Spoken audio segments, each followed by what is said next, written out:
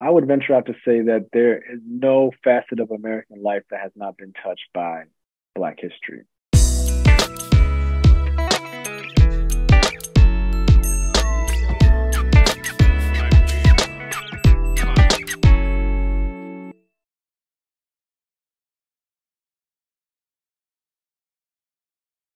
If everybody had to read a book that was uh, essential to understanding the contributions of Black folks in American history? Any telling of um, U.S. the U.S. history, uh, U- U.S. history um, is incomplete without uh, several of W.E.B. Du Bois's books. Right there, there's you know from Reconstruction to uh, souls of black folk, uh, souls of white folk. Like there are ways, um, there are ways that Du Bois early on is really speaking to a lot of the the troubles and tribulations of black people in the U.S., but also the resistance and culture and joy that we can be found, um, you know, existing alongside uh, trauma, and unfortunately. Um, so I think, you know, really you cannot go wrong with um, any of those texts, you know, as a kind of foundational pieces. Um, and even, especially, um, especially uh, the, the, so the black folk, I escaped my mind for a second. Um, when he's really kind of dispelling the, the myth, doing away with the, the idea that uh, black people are biologically are genetically different and inferior, right? So he's really kind of wrestling with that issue um, and really beautifully kind of pointing out how this fake science that has that was existing that had has existed and in many ways still does um, is you know needs, needs to be interrogated and this is how he you know this is how he went to do it and really lays it out uh, in an effective way well i think you know readings from King, and then uh, as Edlin mentioned, W.E.B. Du Bois. Um, I think you know if, if, they were if they were part of mainstream curriculum, which they don't seem, I don't recall them being, uh, you know, until you you'd finally seek them out, you know, in college. Um, then uh, students would grow up, you know, with a more well-rounded perspective on things. Uh, you know, not you know, you know, he, hearing, you know, that there are can be varying viewpoints about the same thing, and I think that helps them to then come to the conclusion that they themselves have to make their own decisions on uh, analysis and uh, you know w- what they're going to adopt as as their own set of beliefs and and and and and they're also learning that it's not a threatening environment to be placed in that you know there can be different views and perspectives opinions about the same thing. It's it's it's the normal course of things. And you know that's why we were given a brain to to use it to make decisions about you know how we want to think about things. We have a building named for Booker T. Washington. And it's interesting that I'm sure many people who go by our center, even with that big block in front of the center, Steve, don't know who Booker T. Washington is. But he had a book called Up from Slavery.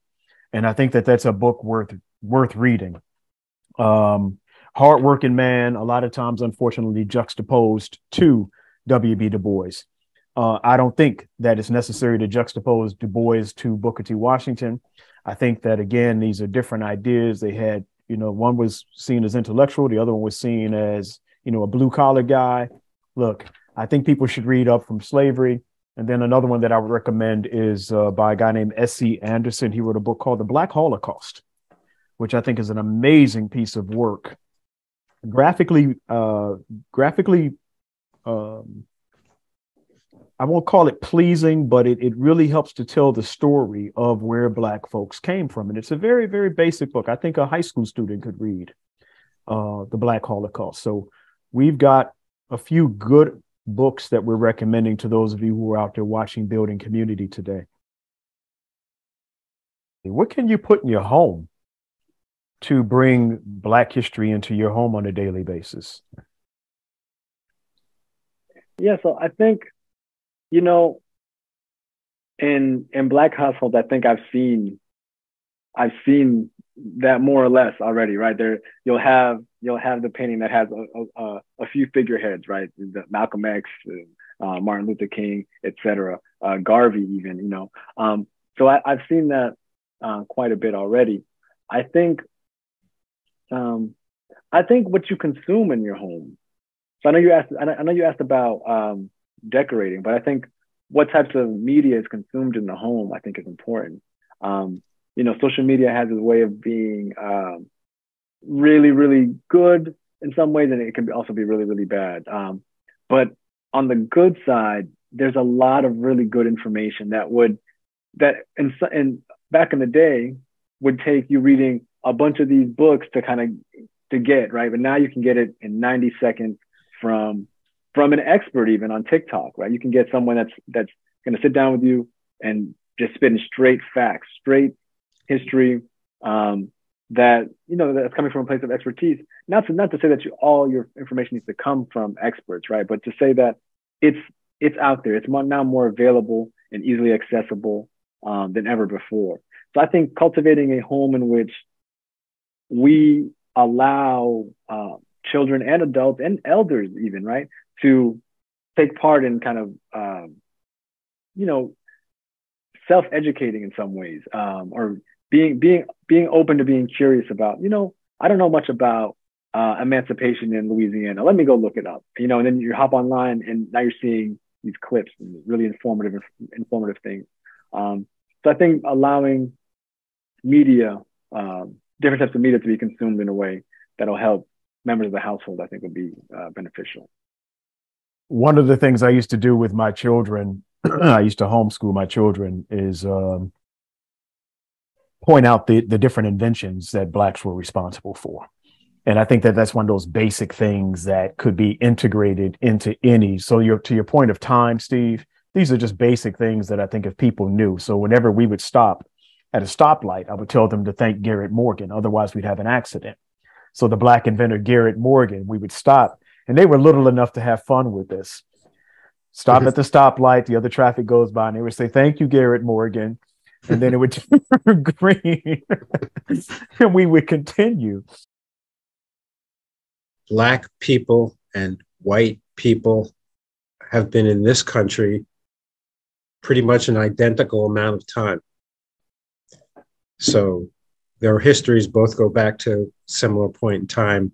Uh, they've experienced and lived together through the same period. Um, how does one how does one side of that have far greater play in written history than the other?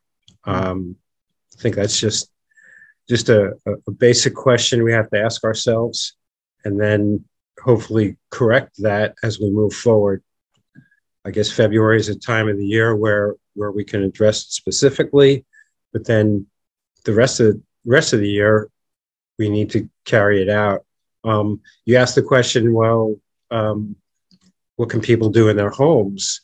Um, and then Edlin talked about, uh, you know, typical uh, photographs of uh, black, important black historical figures you might see in a, in a, in a black home. Um, but I'm not sure that list is very long. And I think maybe you see similar ones over and over again but the list should be longer and the faces should be a much larger group. Um, but somehow or other, uh, people haven't been access to, been given access to learn about that. Maybe uh, a particular family that lives in a community in Chester um, might have taken a liking to the guy who invented the traffic light, but no one ever told them about it. So uh, um, you know, so so it's limited, and I don't think that you'll find that to be the case in a white home. Uh, I think uh, you're going to find uh, a lot, a lot more to look at uh, in the way of what they might consider their heroes or uh, favorite historical figures. I am generally optimistic um, of the direction, um, albeit slow, and you know sometimes seemingly with more downs than ups.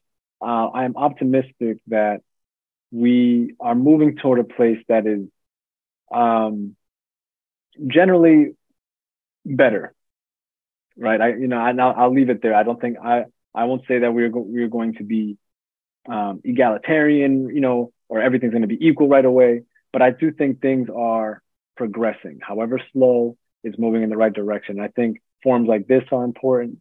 Um, I think, like I mentioned earlier, social the presence of social media can be can be a good tool, um, and not being afraid. Uh, I think one one piece of advice that I would add to, um, or I would suggest to maybe young younger uh, viewers is don't be afraid to ask questions. Um, speak to your elders. Um, there's a wealth of knowledge there. So I think that that's what I would say. I'm optimistic and not to be afraid to be curious. Um, always.